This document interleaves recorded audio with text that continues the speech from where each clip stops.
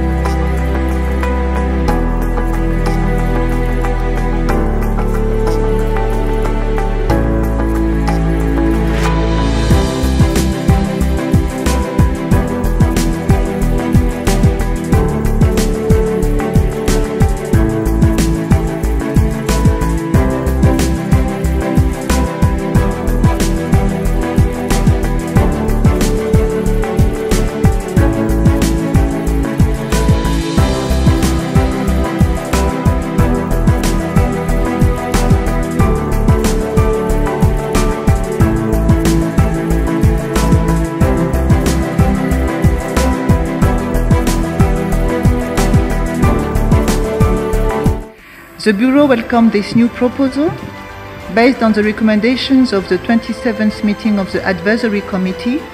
The MAB Bureau examined the additional information sent by the authorities related to the size of the buffer zone, the legal status of marine areas, the inclusion of some settlement in the proposed site, and the correction of inconsistency of figures. As the information received was satisfactory, the Bureau recommended that the site be approved. Disapproved.